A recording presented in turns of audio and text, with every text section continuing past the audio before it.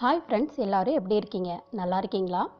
இன்றைக்கி நம்ம கன்னிராசியோட காதல் வாழ்க்கை பார்க்க போகிறோங்க எல்லாருக்குமே காதலில் ஜெயிக்கணுங்கிற ஆசை இருக்கும். ஆனால் அந்த காதலில் நம்ம பொறுமையாகவும் முயற்சியாகவும் நேர்மையாகவும் இருந்தோம் அப்படின்னா எவ்வளவு பிரச்சனைகள் வந்தாலும் அதில் நம்ம ஜெயிக்க முடியும்.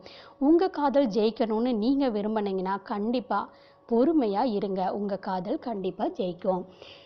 கன்னிராசி இந்த வாரம் உங்களோட காதல் வாழ்க்கை எப்படி இருக்குன்னு தெரிஞ்சுக்கலாம். முப்பது பன்னெண்டு இரண்டாயிரத்தி பத்தொம்போது டு ஐந்து ஒன்று இரண்டாயிரத்தி இருபது வரைக்கும் உங்களோட காதல் வாழ்க்கை எப்படின்னு தெரிஞ்சுக்கலாம்.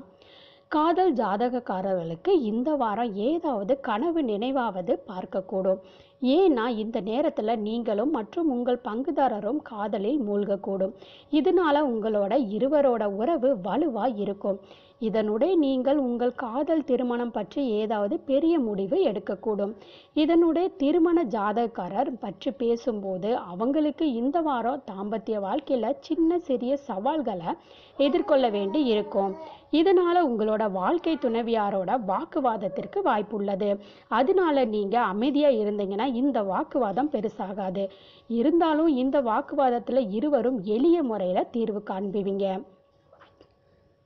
உங்களுடைய காதல் வாழ்க்கை இன்னும் இனிமையாக மலர எங்களுடைய வாழ்த்துக்கள். இந்த வீடியோ பிடிச்சிருந்துச்சுன்னா மறக்காமல் என்னுடைய சேனலை சப்ஸ்கிரைப் பண்ணிக்கோங்க. இது மாதிரி இன்னும் நிறைய வீடியோ உங்களுக்காக காத்துக்கிட்டு இருக்கு. அதையும் பார்க்கணுன்னா பக்கத்திலே இருக்கக்கூடிய பெல் சிம்மலையும் ப்ரெஸ் பண்ணிக்கோங்க. தேங்க்ஸ் ஃபார் வாட்சிங்